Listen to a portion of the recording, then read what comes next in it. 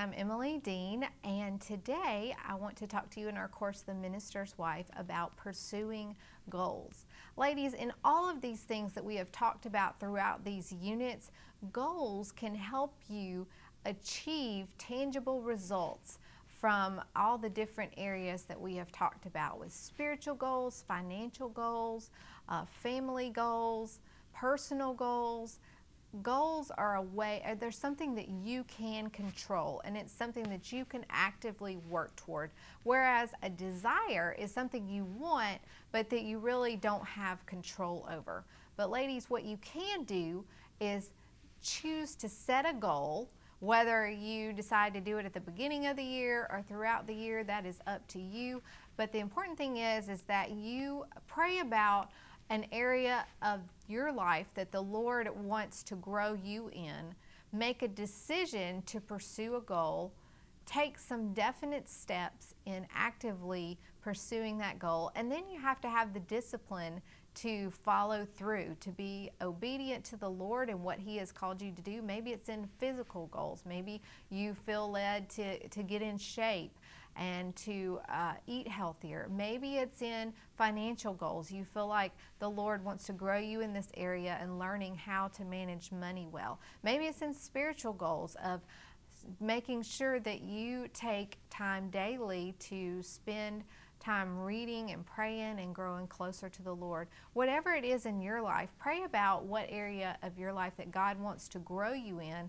And then you have to have the discipline to follow through with that goal. Goals can be painful and costly. Discipline is not easy, it's usually painful, but there are many rewards with actually following through with God, what God has called you to do.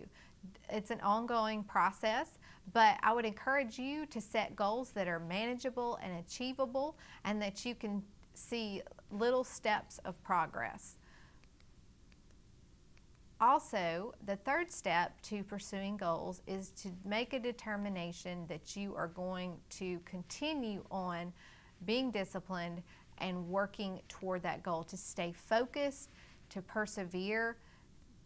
Try to avoid being discouraged when you might have some setbacks because all of us will. And then celebrate small accomplishments. As I mentioned before, you want to uh, set a goal that is not overly lofty that is seems completely unachievable, but something that you can achieve. Maybe set smaller goals in between your larger overall goals so that you can see those little steps of accomplishment and you can celebrate that. Ladies, I just want to encourage you if you feel uh, stagnant or kind of stuck in where you're at in life right now, setting a goal and pursuing it and achieving it will encourage you and help you to gain a fresh perspective in what God has called you to do. So, ladies, I would encourage you to uh, pray about what goal God wants you to pursue, to set that goal, and then work toward it, and you will be blessed with the result. You.